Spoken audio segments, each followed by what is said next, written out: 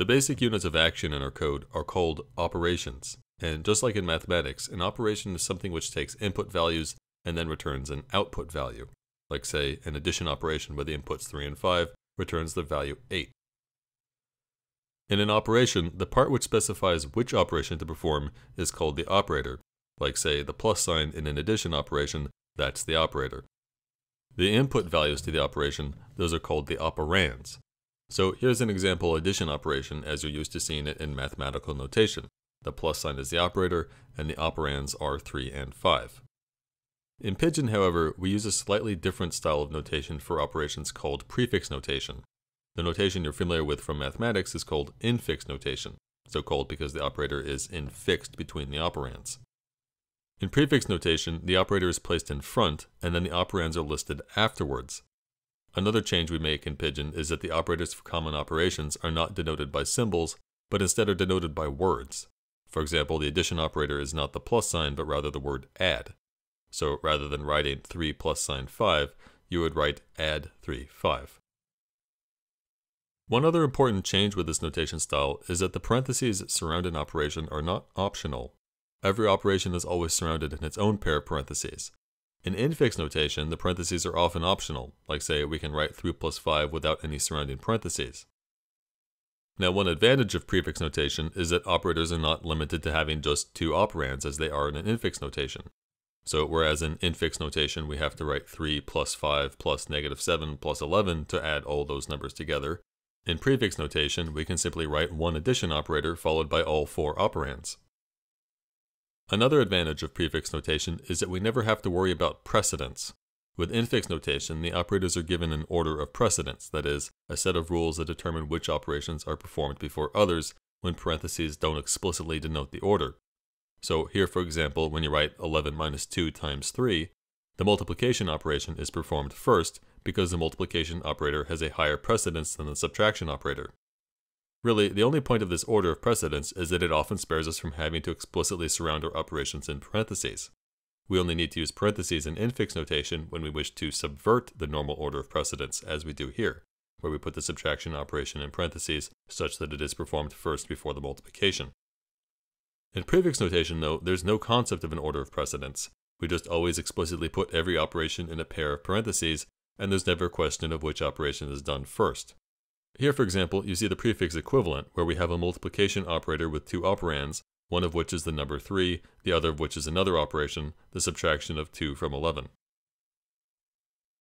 Last thing to note here, with some operations like multiplication and addition, the order of the operands doesn't matter, but with other operations like subtraction, it does.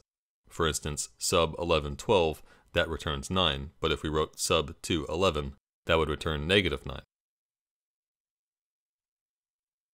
In programming, what we call variables are really quite different from what we call variables in mathematics. In mathematics, variables are used in equations such that the value of a variable possibly depends upon the value of other variables. Like say in the equation x equals 2y, x represents the whole range of possible values for some given y value. A variable in programming, in contrast, always just has one value at any moment in time. A variable is simply a symbolic name which we give a designated value, but we call them variables because over the course of time as the program executes, we can change a variable's value. Over the course of a program, a variable's value may change, it may vary, hence the name variable. Effectively, what a variable represents in the machine is a location in memory to store a value, a location we've given a symbolic name. The jargon term for a name in source code, such as the name of a variable, is identifier. Unlike in mathematics, it's generally considered bad practice to overly use single letter variable names in programming. Identifiers, though, must conform to a few rules. They can consist of uppercase and lowercase letters, and they can also have numerals in them. However, they cannot have spaces in them, and they cannot begin with a numeral. So these three examples are all valid identifiers, but these other three are not. The top one here, New York, is not valid because you cannot have spaces in your identifiers. The second one is invalid because you cannot have symbols like the caret sign, the dollar sign, or the asterisk. And 43 ASDF, that is not valid because while identifiers may contain numerals, they cannot begin with numerals, they must begin with a letter.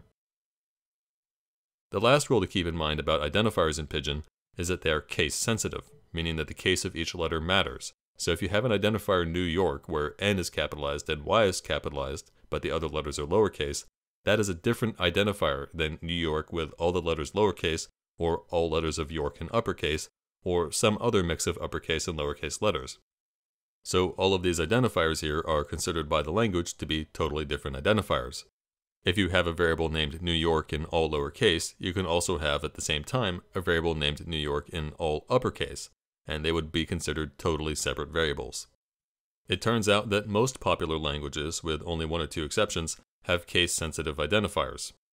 The reason case sensitivity is the norm is that it encourages programmers to be consistent. What tends to happen when a language is not case sensitive is that the same identifier written throughout code ends up getting written several different ways, and most people feel that's bad style. It makes the code ugly and hard to read. On the other hand, even though the language allows you to have, say, New York all lowercase and also New York all uppercase, it's generally a bad idea. You generally shouldn't be creating identifiers that are just like other identifiers in your code except for the letter case, because doing so easily leads to confusion and errors.